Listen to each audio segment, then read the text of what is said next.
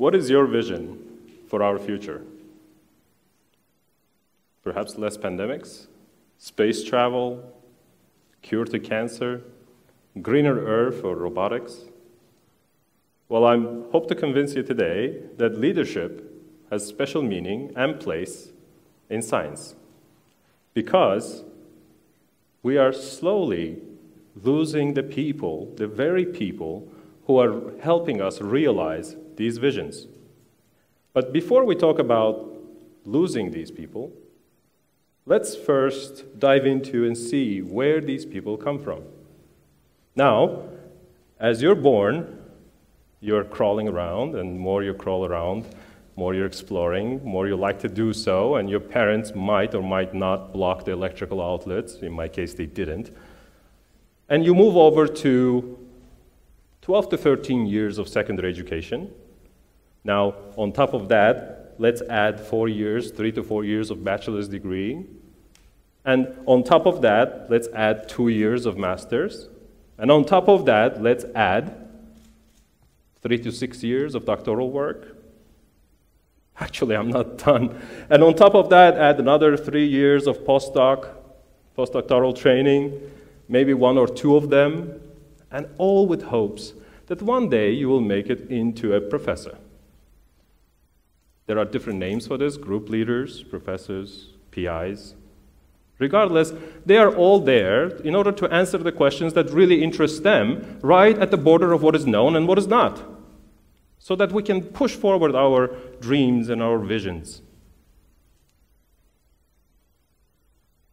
Unfortunately, this step that takes you from your doctoral training to your professorship, we're losing people around that step. But don't take my word for it. A recent article in Proceedings of National Academy of Sciences by Milojevic et al. tracked people who received their doctoral degrees in 1960s.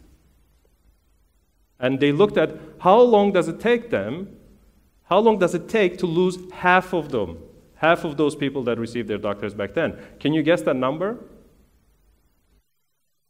Guessed it, it's probably 35 years. Which is perfect because that's about retirement. Do you want to know what that number is today? Can you guess that number? That's a good guess.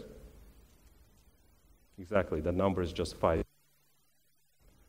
We are at the height of giving out doctoral degrees, now we're also at the height of losing people from science. And it comes as no surprise that as recent as last month, an article came out in a journal of science that said professors are, having, are struggling to recruit postdocs. Interesting, because I'm a postdoc, and I went through a certain experiences. One of the reasons why I stand in front of you today. Now, in order to answer these questions, I went back and I looked at myself and I said, why did I get into science? So I sat down in my notebook and I drew this graph, which I have converted into digital version, which kind of was my naive take on how your interest and your curiosities grow as you acquire more knowledge. Now, as you, when you're young, of course, you're not able to go to university, so your curiosity starts growing as you're trying to pick into the electrical outlet. In my case, right around when I was five or six, I was just dying to know how many matches it will take to light my parents' dining table on fire? I was successful with one match left in the box. But that's a lot of different kinds of trouble. But as you move to your middle, your secondary education, you learn, and this learning really propels you forward. And hopefully, it will keep propelling you all the way down to a professorship. But reality is not ideal, is it? In my experience, my graph looks something like that. And very, I was very fortunate that my graph didn't turn into this. Because unfortunately, for many people that are dear to me, dear friends, and people that I've heard of, this has happened to them. I bounced back and reflected upon my experiences, and I thought, who, what is it then? Is it the hard work? Is it because science is hard? Uh, is it late nights? It was none of those. I was gladly working hard. I identified that it was the people. Back when I was a kid, my older brothers would constantly share with me the things that they learned in school for themselves. I didn't understand much of them, I just knew that there are gazillion number of these particles in this little dot that my brother put on a paper. I just was amazed. In the sixth grade, when I first had biology class, our teacher would come in with wrinkly, throw his jacket on a, on a chair, and talk with so much passion about biology that I, everyone was hooked. Everyone was listening. And when, for the first time, he told me about photosynthesis, I, my mind was blown because to me, these inanimate objects, these trees, had so much life happening beneath that surface. I took a couple of hits on my interest later on, and I was able to identify that yes, yet it is, in fact, the people.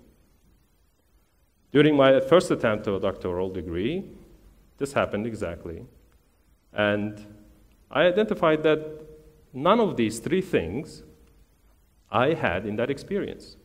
I was not valued, nor respected, nor supported. And unfortunately, this is true not just for the people that I've seen and that I've known. There's a large community of people out there, and they're all suffering in silence.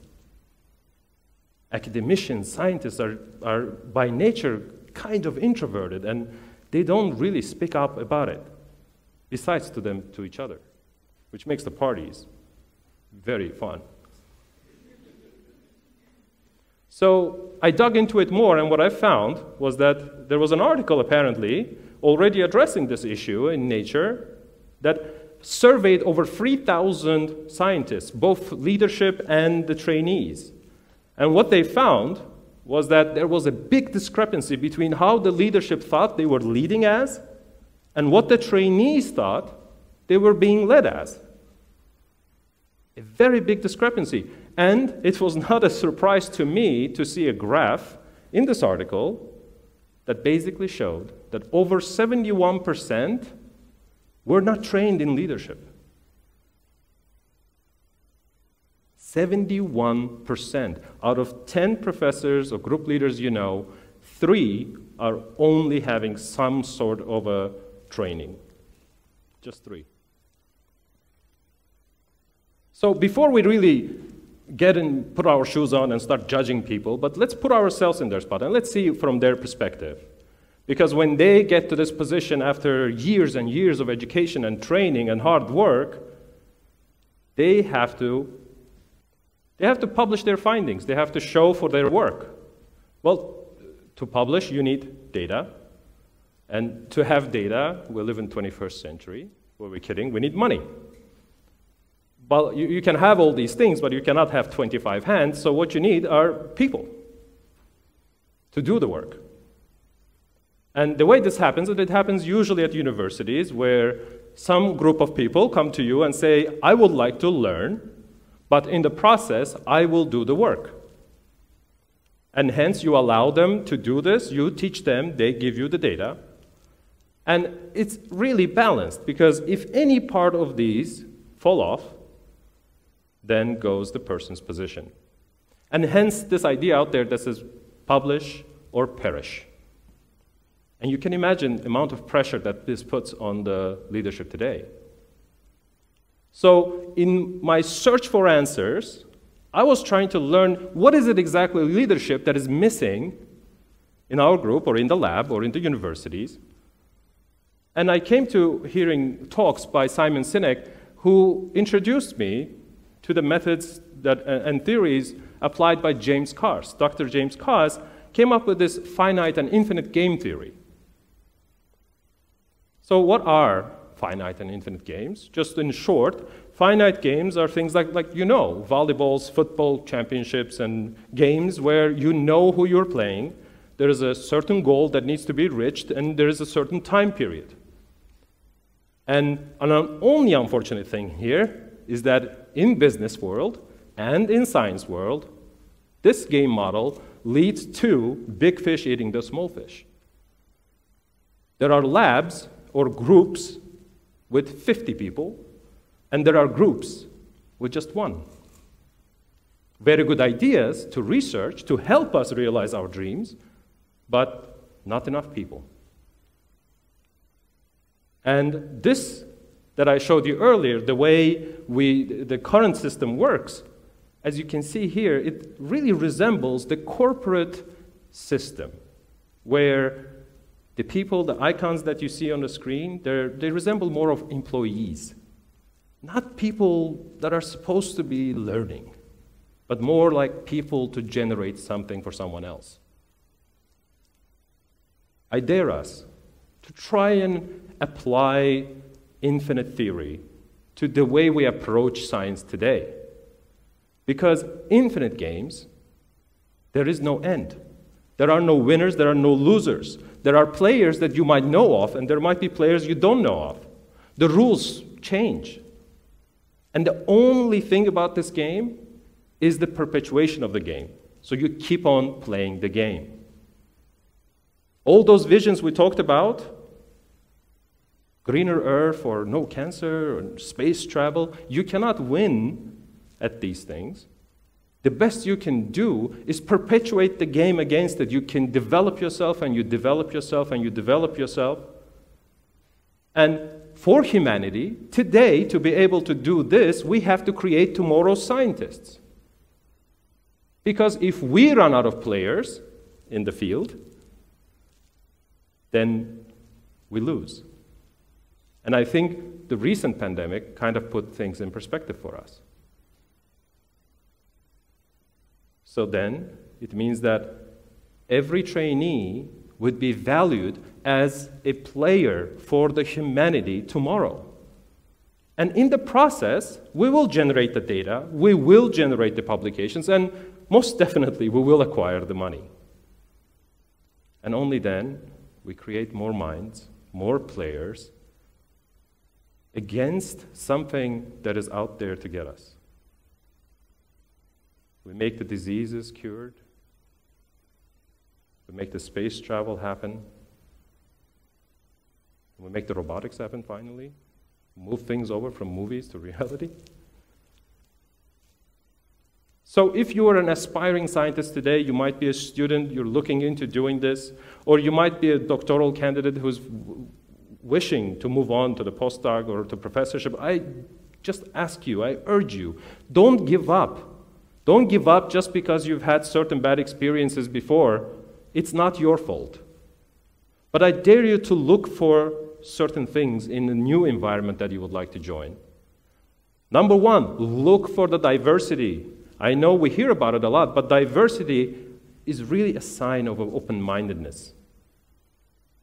Look and evaluate the leadership. If you ask the people in the, in the group that you would like to join, if they say that they, they receive too much support or too little, these are all red flags.